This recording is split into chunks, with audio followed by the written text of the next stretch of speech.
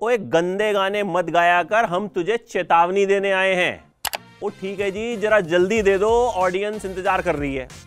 ये अंदाज था अमर सिंह चमकीला का, पंजाब का सबसे कंट्रोवर्शियल गायक, जिसने महिलाओं पर गंदे गाने बनाए, भद्दे गाने बनाए, ऐसे गाने बनाए जो सबके सामने तो कोई नहीं सुनता था, लेकिन पीछे से सब सुनते थे।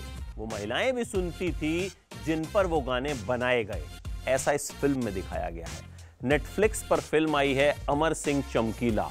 पंजाब के कंट्रोवर्शियल गायक अमर सिंह चमकीला की कहानी।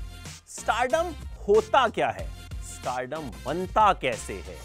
स्टार्स किस तरह की परेशानियों को फेस करते हैं? इस फ़िल्म में इस कहानी को बड़ी शिद्दत से दिखाया गया है। अमर सिंह चमकीला एक जुराब की फैक्ट्री में काम करने वाला मजदूर किस तरह से वो सुपरस्टार बन जाता है, गंदे गाने गाकर जी हाँ बार बार इस फ़िल्म में इस्तेमाल किया गया है शब्द गंदे गाने। उन गंदे गानों की वजह से बार बार लोग उसके पास आते हैं, धमकी देते हैं कि तुम ये गाने नहीं गाओगे, पैसे मांगते हैं, लेकिन फिर जब चमकीला गाने के लिए स्टेज पे खड़ा होता है तो लोगों की डिमांड उन्हीं गानों की होती है। अमर सिंह चमकीला की ज़िंदगी बड़ी कंट्रोवर्शियल रही। दो शादियाँ की उन्होंने। उनकी दूसरी पत्नी ही स्टेज पर उनकी जोड़ीदार भी बनी। इस कहानी को दिलजीत दोसांझ ने जिस तरह से जिया है, मैं शब्द इस्तेमाल कर रहा हूँ, जिया है। वो कमाल है। लगा ही नहीं कि दिलजीत के अलावा चमकीला का किरदार कोई और निभा सकता था। दिलजीत की मेहनत साफ़ नज़र आती है। ये दिलजीत का अब तक का बेस्ट परफॉर्मेंस है।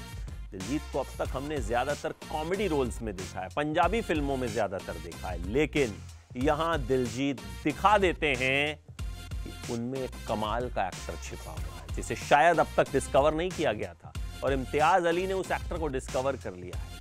परिणति चोपड़ा ने दिलजीत का साथ बखूबी दिया है, वो फ़िल्म में अच्छी लगी हैं, उनका जो काम था, वो उन्होंने शानदार तरीके से किया है। इम्तियाज़ अली का डायरेक्शन ऑन पॉइंट है।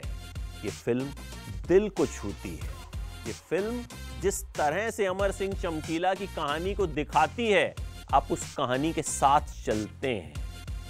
बड़े सिंपल तरीके से, बड़े सोबर तरीके से। ना कोई बड़े सेट्स ना कोई महँगे कॉस्ट्यूम ना कोई बहुत बड़े बड़े डायलॉग्स लेकिन तब भी ये फ़िल्म आपके दिल को छू जाती है। ए आर रहमान का म्यूज़िक इस फ़िल्म की तीसरी सबसे बड़ी खासियत है।